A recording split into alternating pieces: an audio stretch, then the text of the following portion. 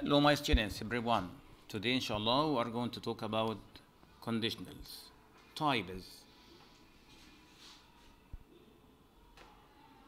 Zero conditional. Zero conditional sentence consists of two clauses, an if clause and a main clause. Structure if plus present simple tense. The result is present simple tense. There are used to state general rules, to generalize or give facts, to talk about something which is temporarily true or always true. For example, if you heat water to 100 degrees, it boils. If the if clause comes first, a comma is usually used. But if the if clause comes second, there is no need for a comma. For example, water boils if you heat it to 100 degrees. Note. Uh, we can use other tenses as present continuous can be used. For example, if you muscle, if your muscle hurts, you are probably doing much exercise. First conditional. The first conditional is used to speculate about the future consequences or a specific event. In this case, the verb is the second part of the sentence, is preceded by will. The condition is if plus present simple tense. The result is will plus infinitive verb. For example, if they offer a good price, we will buy the whole consignment. You can use my present tense. You can use any present tense in the if clause and any future tense in the other clause.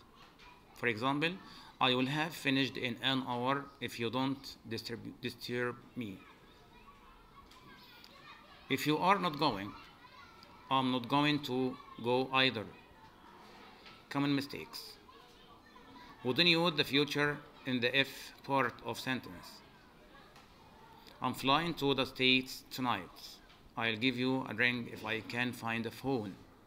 The speaker is not sure if he will be able to find a phone or not. In a sentence with an if clause, we can use imperative or other modal verbs instead of will plus infinitive. For example, if you hear from Suzanne today, tell her to ring me. If the traffic is bad, I may get home late. The first conditional is usually used in the following cases. Contingency plans considering events that may or may not occur. For example, if I feel too excited to sleep, I will try reading one of our reports. We also use conditional first conditional with company forecast, degrees of uh, certainty or certainty, project planning. Second conditional.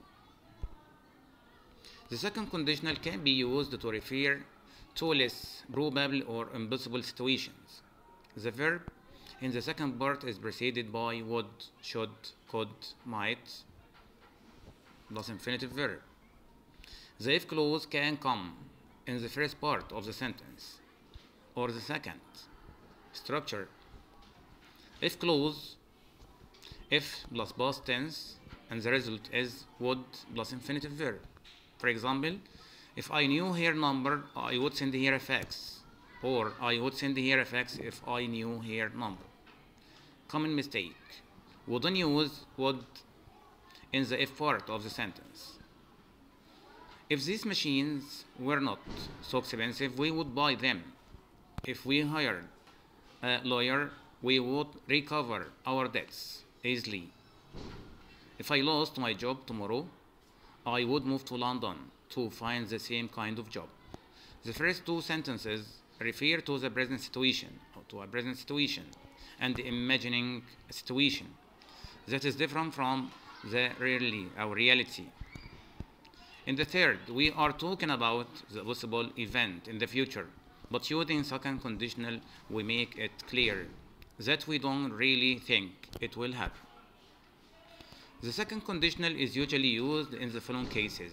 Stating preferences, supposing if I were 10 years younger, I would take the job. Unusual circumstances, I would or might join the army if there was a war. Note, if we think that a future event is reasonably likely, we use first conditional. If we are talking about an event that is unlikely or impossible, we use the second conditional. Thank you and goodbye.